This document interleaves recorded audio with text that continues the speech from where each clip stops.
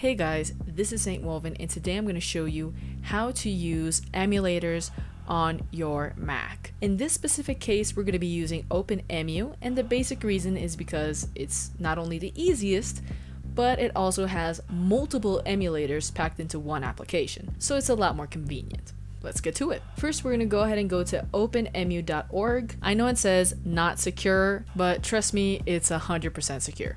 As you can see, the website kind of looks like this. Gives you different options to take control, so that's always a plus.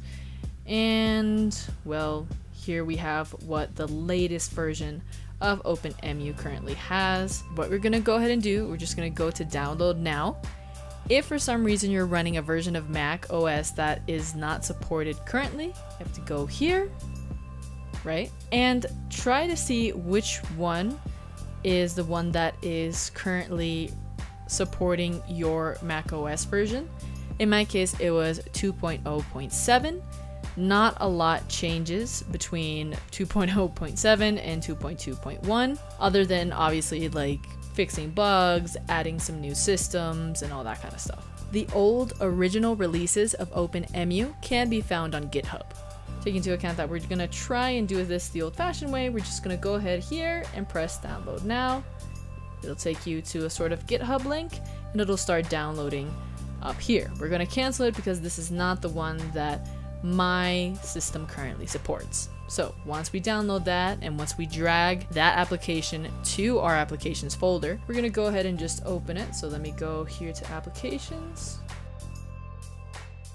Here it is, OpenEmu. And as you can see here, I currently have a Game Boy Pokemon version. So this runs fine, except that I kind of want to explain how exactly we're going to import games to OpenEmu. It's pretty simple, but I'd rather show it. First, we're gonna go ahead and go to ROMs Mania. That is the place where I get most of my ROMs, and it's great. So let's just get a random ROM. Okay, let's go to uh, let's go to Super Mario 3. Why not? Let's download that.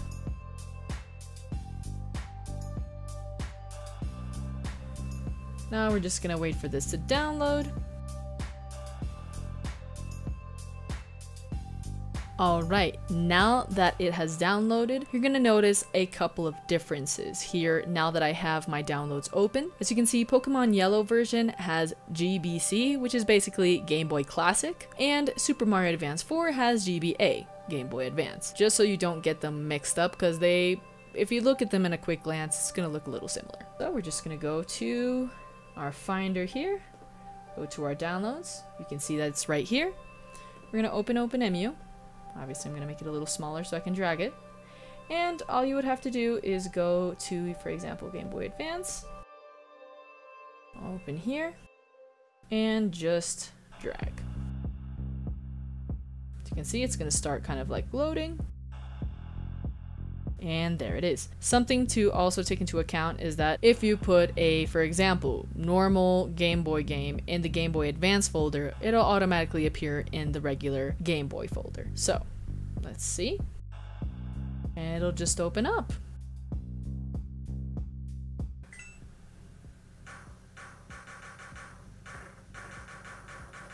I think you guys are probably hearing the music that's coming from my Mac. Uh, I haven't really configured my Mac to actually get audio from inside the Mac, so I apologize.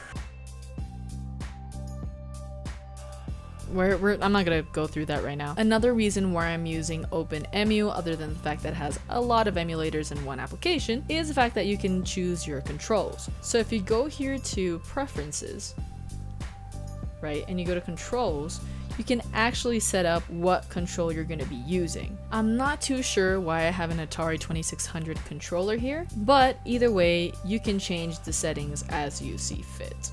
For example, in the later versions, you're able to see a PS1 emulator, and once you open your controls, you should be seeing a PlayStation 1 controller. That if you have a DualShock 4, it's actually really comfortable to play on your Mac simply connecting it through Bluetooth. So guys, that was basically it for this video. Leave a thumbs up if you liked it, subscribe, I hope this was useful for you, and have a good one.